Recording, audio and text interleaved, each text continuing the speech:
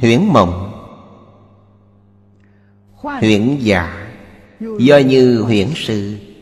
Năng dị nhất vật, Di chủng chủng vật.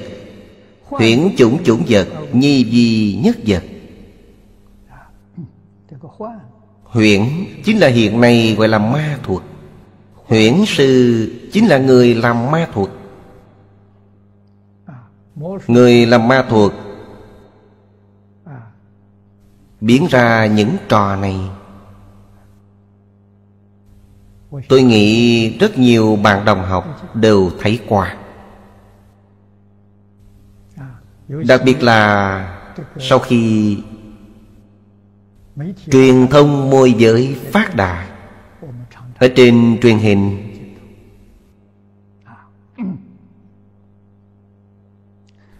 Ta thường nhìn thấy loại ống kính này. Họ có thể lấy vật không giống nhau để biến. Chúng ta đều biết đó là giả. Thủ pháp của họ rất nhanh. Chúng ta nhìn không ra sơ hở của họ.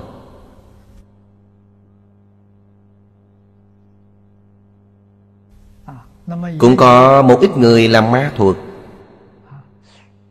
Sau khi biến hóa, Họ đem cách thức biến hóa chỉ cho chúng ta. Chúng ta mới vợ lẽ, Mới hiểu rõ toàn là giả.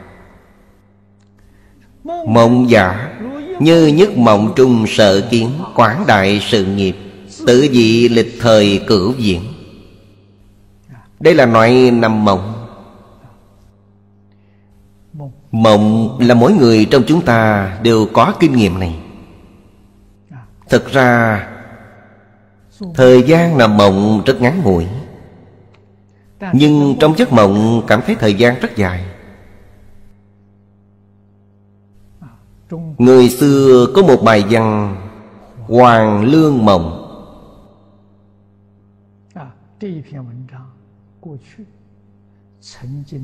Trước đây, bài văn này từng có trong sách giáo khoa của cấp 2 Chúng ta ngày xưa đọc sách cũng có đọc qua bài văn này. Nội dung bài văn này đại khai viết về một vị tú tài.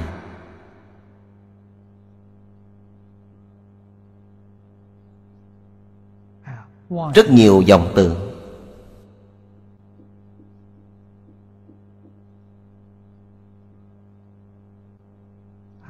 Trên đường đi du lịch,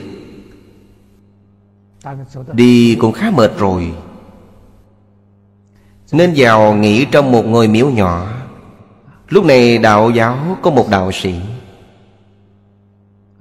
Đạo sĩ đang ngồi thiền. Bên cạnh ông ta nấu thức ăn. Thức ăn này là hạt cao lương. Hoàng lương Hạt cao lương, hạt nhỏ. Nấu hạt nhỏ rất nhanh. Anh ta ngồi một bên ngủ gật. Trong mộng rất đặc ý.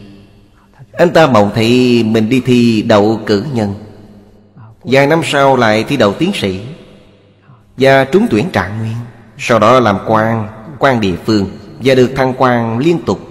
Rồi mười mấy năm sau làm chức tệ tượng Rất đặc ý.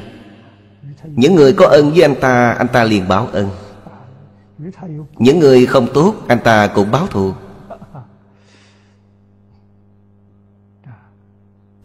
Cả một đời, Đến khi cáo lão về quê Cùng mấy mươi năm. Đến khi tỉnh ngủ Đạo sĩ đó nhìn anh ta không chớp mắt hỏi, Anh còn đắc ý không? Đạo sĩ đã nhìn thấy tất cả. Nhìn thấy hết. Hà Cao Lương còn chưa nấu xong. Nhưng trong mộng, anh ta đã trải qua Năm sáu mươi năm. Đây là một giấc mộng hoàng lương. Đích thực đời người cũng như vậy. Đời người mấy mươi năm, Thực tế mà nói Thì vô cùng ngắn ngủi. Chỉ một cái chớp mắt là qua đi rồi.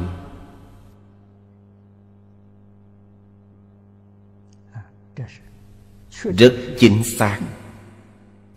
Đây là hoàn cảnh chân tượng hiện thực, Không thể không biết.